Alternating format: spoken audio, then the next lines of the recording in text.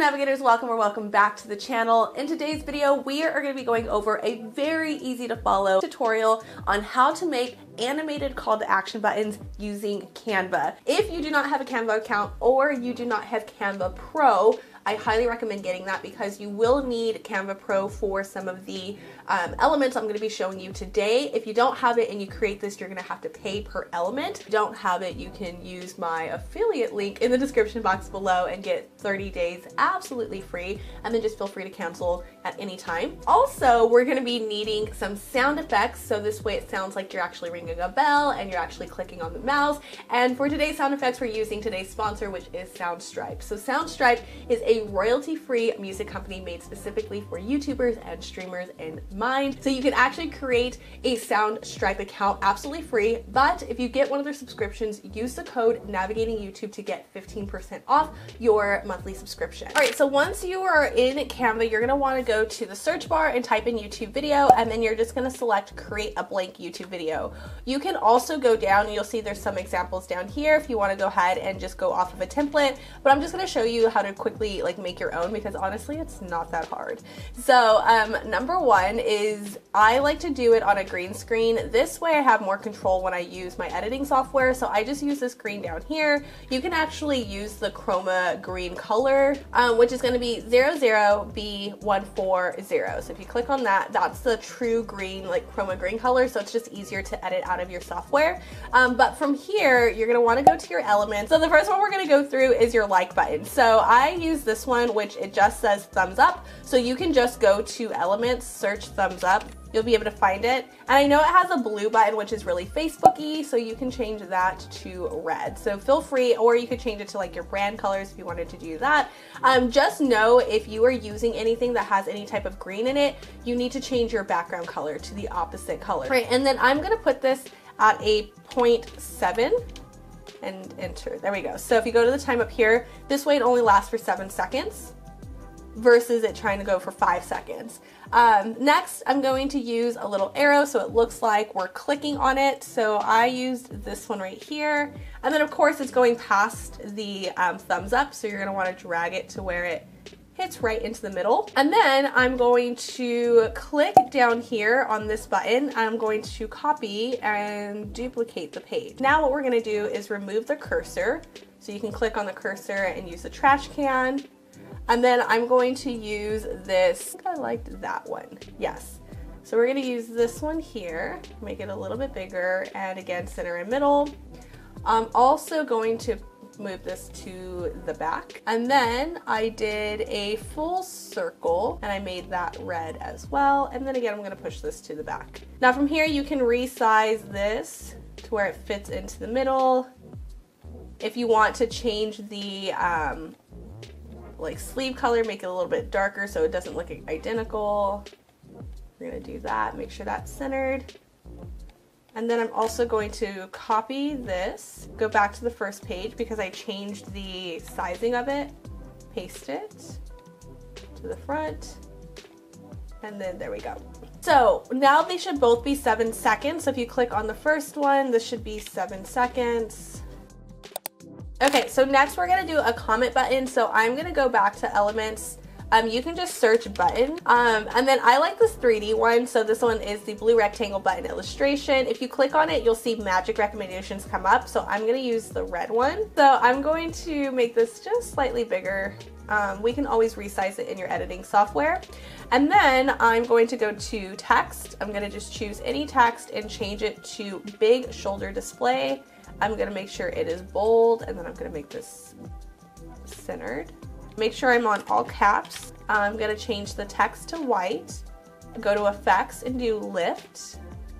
And I'm gonna change it to 75. This way it looks like it's pulling away and it doesn't look so flat. Then I'm going to click on the text, go to animate and select typewriter so it looks like it's typing out. And then I want that set at eight seconds up here. So the timing should be eight seconds. Then I'm gonna duplicate this page I'm going to click on the text and make sure I remove the animation.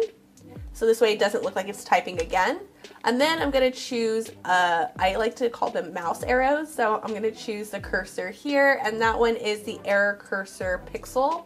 Again, make it to where it's going to click right in the middle. Copy this page one last time, so duplicate page. On the last page, you're gonna remove the arrow and then I'm going to change the text color to black and then I'm going to change this to gray. So I'm gonna go, the lighter red is going to now be this gray color down here. The darker red is going to be a darker gray. I'm also going to remove the lift, so I'm gonna put none. This way it just looks like when you clicked on it, it changed color, so it actually is like somebody commented on your video. And then that can be set to like five seconds. All right, so we are gonna go to the bell notification. So I'm going to position the bell. And then this bell is the black animated fill icon bell icon. So that's what you would search for under animations to get this exact one. I'm also going to use just the circle, which you can find if you go to elements, um, go to shapes, lines and shapes, you'll just, it's a regular circle. Um, I'm just gonna make it red again and push this to the back. Make sure it's centered awesome. And then we're gonna use a cursor. So if you go to elements, again, you can just choose any mouse arrow, go to graphics. All right, I'm gonna do the hand cursor click, that's red. If you wanna come from the side, you can do it that way too. I just wanna make sure the um, red is showing up on the black when it looks like it's clicking. And then you can copy, duplicate this page. Again, it's eight seconds, duplicate page, remove the cursor, and then I'm gonna change the background to now a gray color. So it looks like when it's clicking it, it changes right to gray. All right, and then the last one's gonna be a share button. So again, I'm gonna go ahead and delete this. I'm gonna delete these, start from scratch. So go to your elements. Again, we're gonna go back to that button. We're gonna go to text. Again, we're gonna use the big shoulder display, make sure it is bold, and we're gonna put share. Uh, change the text to white, go to effects and go to lift at 77. And then from here, you're going to do just the regular cursor. And so I like this one that is the error cursor click. It kind of looks like it's the plane, like that's the Instagram share kind of button. So I kind of like that there. And then again, we're going to duplicate this page, change the button to a gray color so it looks like you've actually clicked it, change the text to a black, and then erase the cursor. Again, they should both be set to 0.8 uh, second. All right, so once you're in Soundstripe, at the top, you're going to see SFX. So these are your sound effects. And then you could just search for what you want. So we know we need a mouse click. I also need a bell. And then I'm gonna see if I can find the like sound where, you know, that old like email send sound, I want to find that one. So the first one should be easy. All you need to do is mouse click and then you'll see it has mouse click single, low, and then you can hear the different ones. So personal preference, um, I'm just gonna go with this first one and then I'm going to hit download and then download um, sound effect. Uh, next, we're gonna go for a bell sound. So let's go search bell. And I love that you can just search for them because then you don't have to spend hours trying to look through all these sound effects. Okay, so Bell 02 or Bell 04 are probably the closest to like that bell sound. So let's go with Bell 02. Again, download sound effect. And you only need to download it once, even if you're using it on multiple things, because you're just gonna put this into your editing software. So the last one's probably gonna be the hardest for me to find, which is that email sound. Okay, so they don't have it exactly, but I typed in whoosh and then this came up, so hi short 01. But now that we have our sound effects and we have our call to actions made, I'm gonna use Filmora to show you how to add up everything and this way you can save it and have it for your lower thirds or place it anywhere if you want to do like your intro or something for your next YouTube video.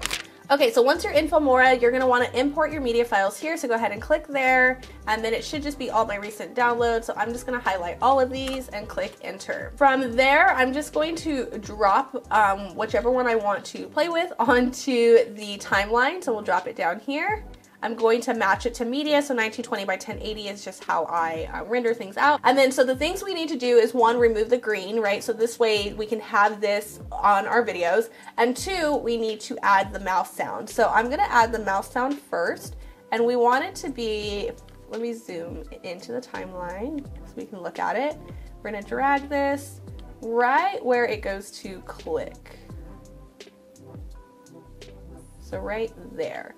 And then I'm gonna use this mouse single right here. I'm going to cut this part because I only need one of the mouse clicks. These are just the same thing, right? And so now it looks like this. Perfect. All right, and then I'm going to remove the green screen. So Filmora makes it super easy. You can go ahead and click on this. You'll see this comes up and it removed it. And then I want to test it to make sure that um, it's actually going to show on um, videos properly. So I'm gonna press OK and I'm just going to add a sample video. Let's use one of Soundstripe's sample videos. So I'm just gonna do this one here. Let's go ahead and download this. So I just downloaded as a preview just so I can see it. And then again, we wanna make sure that whichever um, thing we want shown on top is on the top of the timeline. And then if you don't want it centered, you can just click on um, the element so you can see I can move it. I can resize it if I want to. I can just kind of move it down here. And you'll notice there's a little bit of a film so you can see the um, outline. So all you need to do is double click here and then change the offset and the tolerance. So if you change that and the tolerance, then you can see it gets rid of it and now it's pretty seamless. All right, and if you're like, um, Tiffany, what happened to that subscribe button? Don't worry, I actually have a full video showing you how to make some custom animated subscribe buttons, which you can watch right here. Now get out there, make some content, and let's grow together.